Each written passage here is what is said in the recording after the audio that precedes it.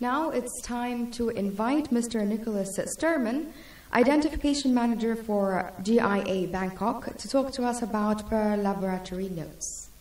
Okay, so thank you very much for coming. I hope that uh, what I described today will be of interest to you. Um, we've been hearing about the challenges of pearl testing. I'll give a little bit more information with some examples later on about that. But the Pearl Laboratory notes that I'm going to talk about now are some topics about labs themselves, because although many people here are from labs, there are some who maybe have no idea about labs, so it's good to give some perspective about the work that we do. Um, so I'll move forward on that.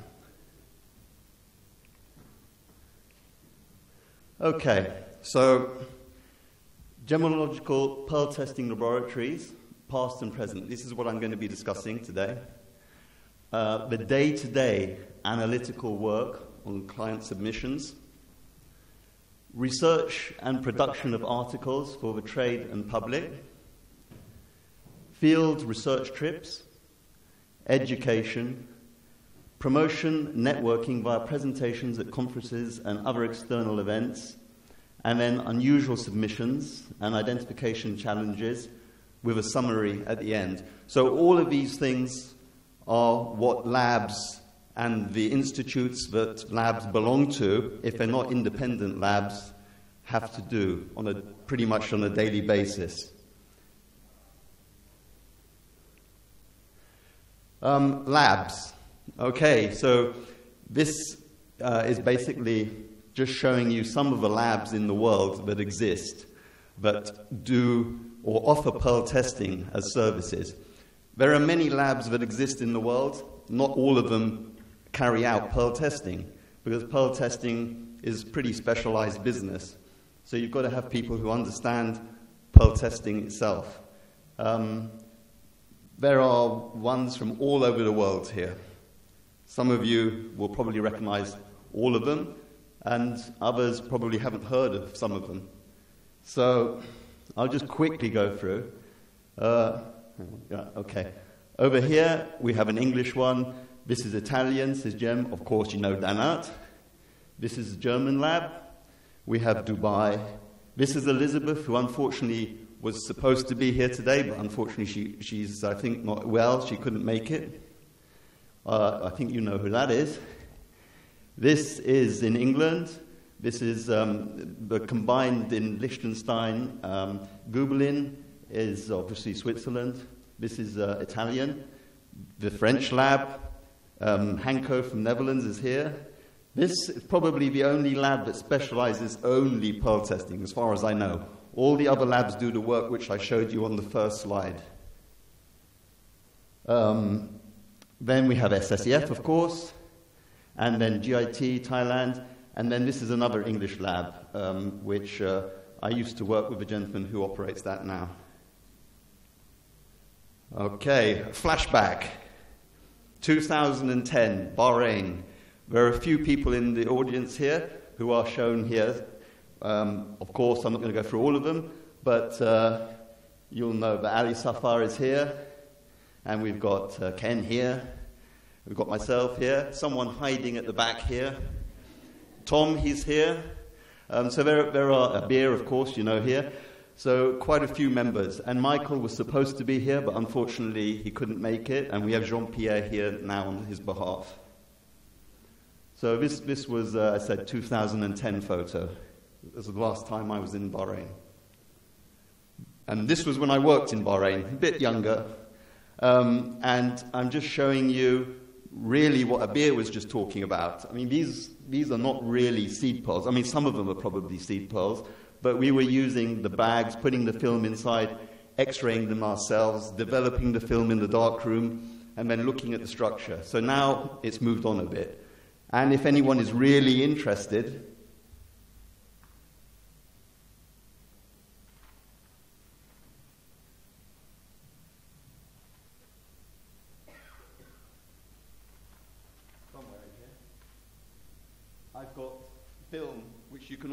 can all look at later. Anyone who's interested can actually see the film that we used to use.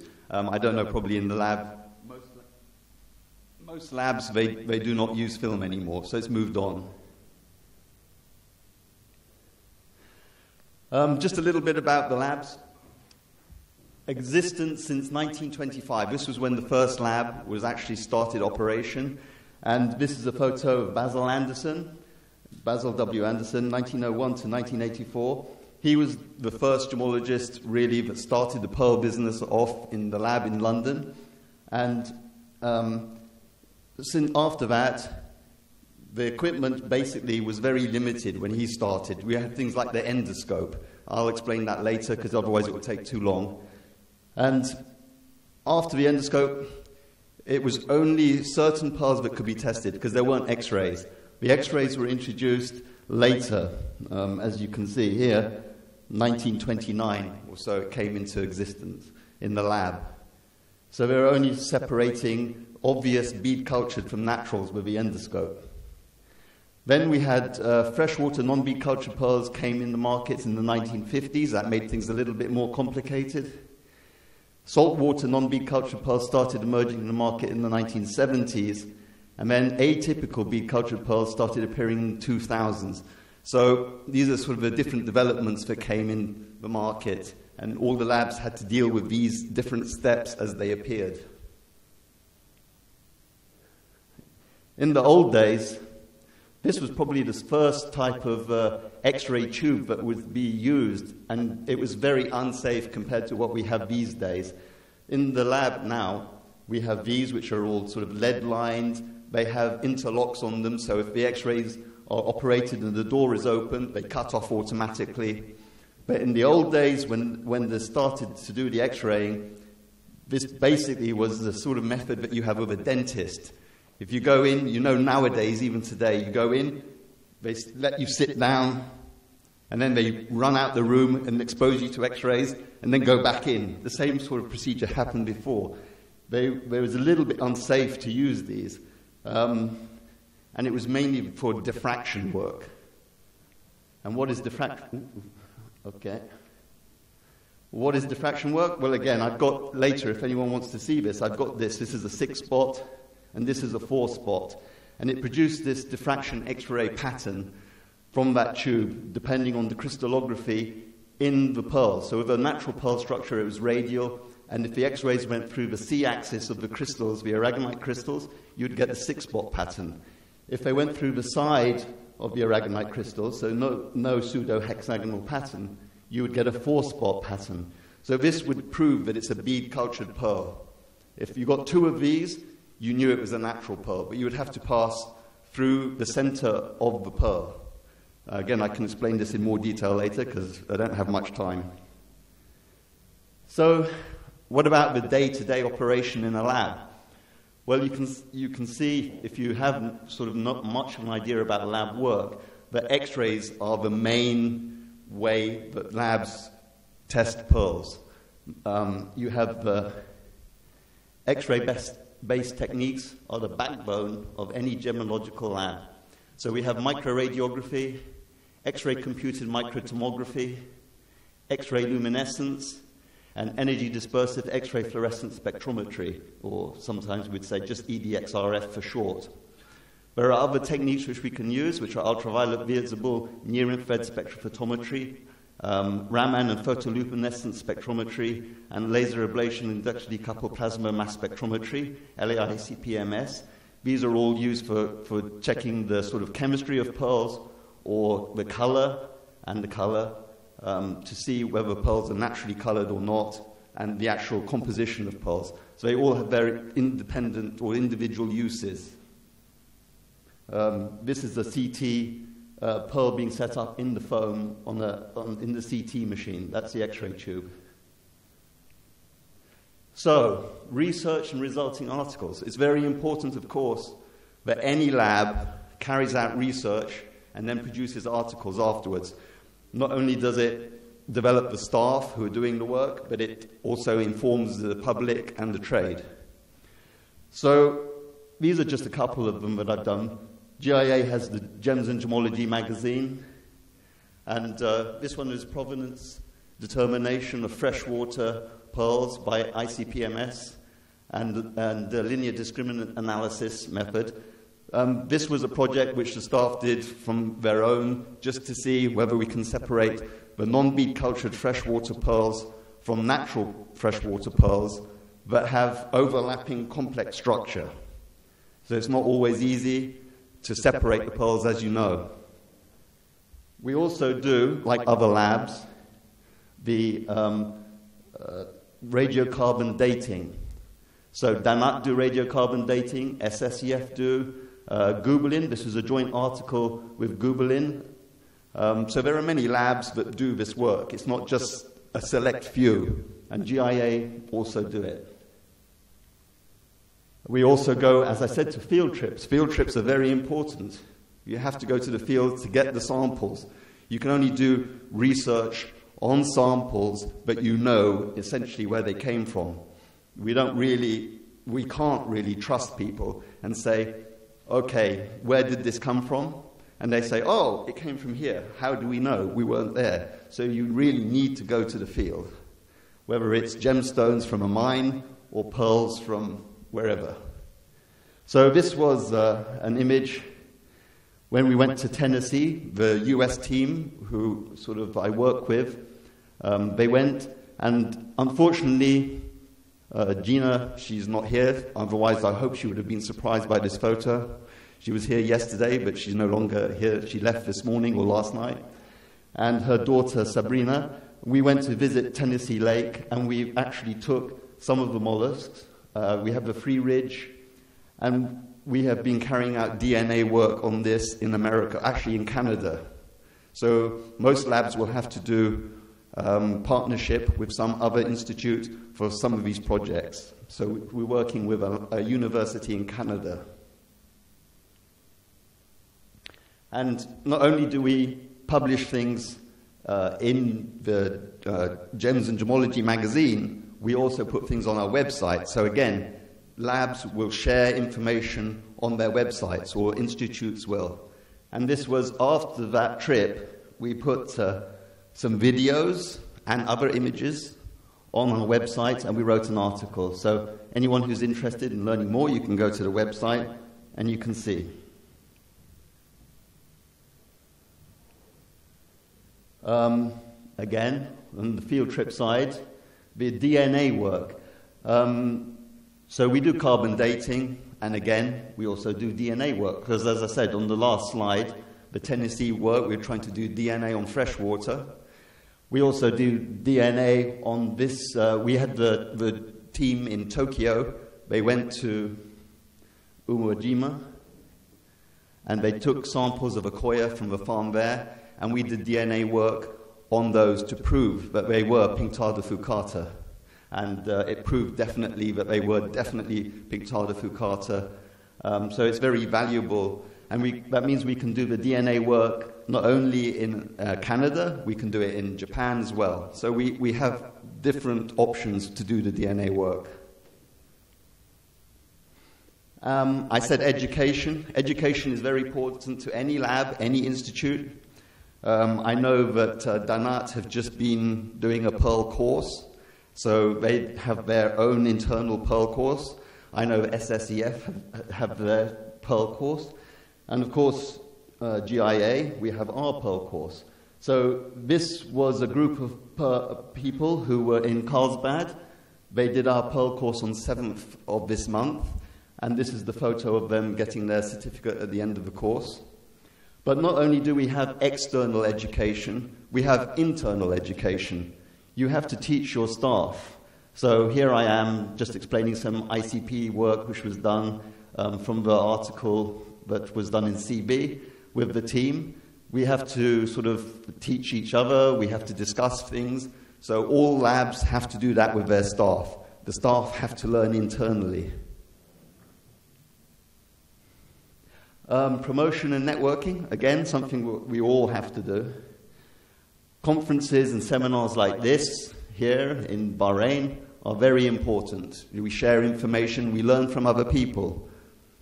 We also have to go to exhibitions in various parts of the world. Um, we have show labs. Many of the labs have show labs. They do testing on site in the shows. Um, this is Las Vegas for GIA. And we do tailored events for trying to promote um, the Institute, our services, etc. And for GIA, we have uh, the career fair. So our students will be able to actually meet people from the trade and see about potential jobs. Um, so it's very important to, to try and, and tailor events. Right, so that's a little bit about the labs and what they do, and obviously, because I'm from GIA, I focused on GIA. Um, but now I'm going to talk about some submissions, so things which we've received which maybe will interest you. Um, so the majority, again, as Ken was mentioning before, uh, and Abir was just mentioning, it's not always the case that everybody agrees on everything. So in labs, the majority of submissions to laboratories received are straightforward, and all the gemologists will agree on the result. Gemologists from other labs would also agree. However, from time to time, all laboratories receive interesting, intriguing, challenging, you can use whatever word you like, pearls for identification. And seed pearls are another matter completely. I could spend a whole day talking about seed pearls.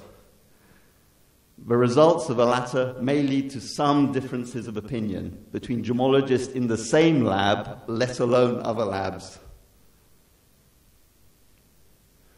Okay, so we have three pearls here.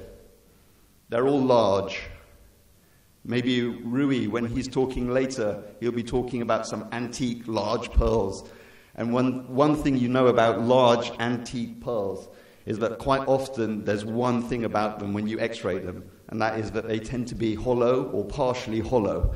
So that's sort of my theme on these three pearls. And when you x ray, then the, the, the interesting things appear because you just don't know until you x ray them. So what we have here is one pearl weighing 34 carats. So you see the me- measurements here because this one is the weight of the metal included, so we don't know the weight of it. But the measurements are sort of similar. They're all, all similar measurements. Um, and then this one, 44 carats. So what do we see inside? Well, that's the first one. When we x ray and we see inside, this was actually submitted twice to GIA. The first time it was mounted in a, a pendant, and you can see there's a lot of metal. So the, the opaque areas here are the, where the x rays cannot pass through the metal and all around is the pearl itself.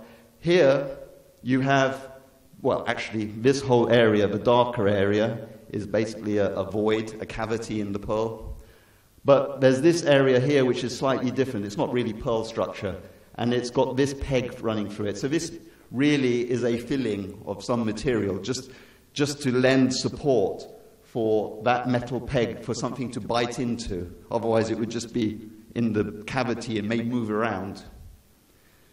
So the client, when he knew that it was partially hollow and filled, he didn't like that result. He said, Okay, I'll remove all the metal. And he did. So this is when we saw it the second time.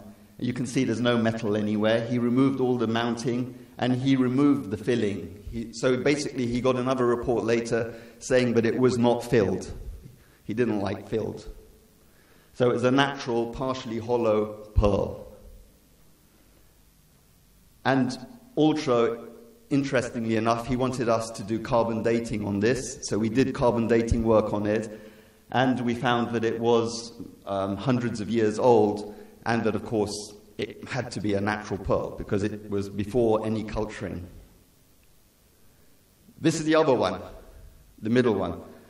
It was a a cultured pearl. So this is the bead. This was all hollow. And this part here, the metal, is hiding a very large opening on the surface of the pearl.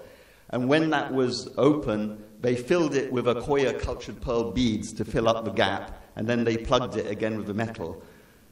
So and this is another direction. So it was very interesting. You know, you just don't know what you're going to find until you X-ray. So it's exciting for gemologists when you X-ray a pearl, a big one. What are you going to find?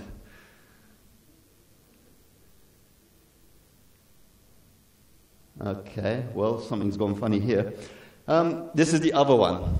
So you can see that basically it's got, a, again, a void in it, and it's got this structure here, which maybe someone could think was something which had been inserted inside the pearl. But in actual fact, this is a large non bead cultured pearl. Um, I don't know where the other picture disappeared to, but it just showed it in another direction, and it showed that it was not something which had been put inside the pearl. Um, now, you would think that maybe it's the only problems you sometimes get with pearl testing are between um, natural pearls and non bead cultured pearls and trying to separate them. But in actual fact, this is a pearl which was interesting because it weighed around 16 carats. You can see it's a very nice drop shape. It was submitted to one lab, 2009, as undrilled. Natural pearl was received as a result. The second lab, 2010, again, undrilled, a natural pearl result was given. Lab 3, 2012, it was partially drilled. So someone had decided to drill it, but we had uh, records of it when it was later uh, discussed with us. And it was given as non bead cultured pearl. So it went from natural pearl to non bead cultured pearl. But Lab 4, of course, was GIA, 2012, partially drilled, we found it as a bead cultured pearl. So the same pearl had received natural, non bead cultured, and bead. So bead cultured pearls can be difficult if you know, sufficient care is not taken during the testing procedure. So you've got to be careful about any pearls you're testing. And it may not be obvious, but this is the inner bead demarcation. So it is um, a bead cultured pearl, and I, I, can see why it would have some, been something which would cause trouble in some labs. And lastly, um, before I get to the summary, because I know I've probably gone over the time, this was a pearl which was submitted in Hong Kong, GIA Hong Kong recently. So it looks like a pretty straightforward Pinctada margaritifera, or Tahitian if you want to say, cultured pearl in a ring. It was quite a large pearl. But when we x rayed it, whoops. When we x rayed it, this is what we found. It was a bit strange. My 30 years, I've never seen this before. 30 years of pearl testing. So I'd be very interested if anyone else who has experience in pearl testing has ever seen something like this. Um, but essentially, it had this metal thing in the drill hole. The drill hole almost went right up to the surface. And you can see here, it's got sort of like wire twisting around it here and this point. So when we increased the magnification, we could see that it's like a, an element in a bulb with a twisted wire around it. And you can see it's a perfect demarcation. So it's essentially, it's like a bead, but it's not a bead. And you can see the edge of the drill hole. So this material here the radio translucency of it suggests that there's a material in there and it's not just a void. So it could be resin, could be wax, it could be some other material. And it had like two contact points as well. This is the metal of the ring, the post of the ring. So it sort of seems like it's some electronic device in, in the pearl. And the client was not amused when we told him. And we said to him, please take it out and sell it to us. We'll buy it. We want to cut it in half and see what it is. And he, he didn't want to do that. So we still don't really know what it is. So, anyone with experience? Mm, Tom, Ken, let me know. yeah. And we did think that maybe it was RFID technology. Um, there is a company in Hong Kong that does it, and uh, Many labs have written articles before about this sort of thing. So we, we went to the company in Hong Kong because it's a Hong Kong submission. So the team just contacted the, the factory in Hong Kong and said, you know, we want to buy some of your samples and just check to see if it's the same thing. And we bought this one um, just as an example to see. And if you use the right uh, software on your phone, you can actually get the data to come out on, on your phone on the screen because it has a chip inside it. And it will tell you that it's uh, French Polynesia, it's round, the color, other information which has been input for that chip And so we x-rayed it, and that's what we found. So, you know, this is a typical shell bead nucleus. Um, and the opacity, radio opacity of it is typical. So it's definitely not the same as we just saw in that ring. We've got our RFID chip in here, and we magnify it. You can see very clearly it's completely different. And this is another direction where you can see the boundary where they cut the bead in half and they made a little pocket for the chip to go in, and then they've put it together again. And we've put it recently, sort of a few days ago, we wrote an article and put it on the website. So if you want to read it in more detail, you can go to the GIA website and read about it. So, summary.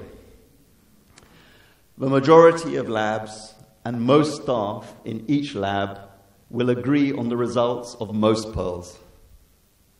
Knowledge is power, but enthusiasm pulls the switch. You can do a job and you know how to, to do it, but if you're enthusiastic about that job, it makes it even more interesting. Research and field trips are very important. Without having the proper samples to do the research, you can't really progress. Even the experts don't always agree or get it right. And that's in any part of any profession. You can even say a doctor. We've heard many stories about doctor making misdiagnosis, and that's even worse in some respects. It can be life threatening. So, you know, yes, we all like to get it right, but we're human. Challenges still remain, even after decades of pearl testing experience between the labs. New technologies, techniques will no doubt come into play.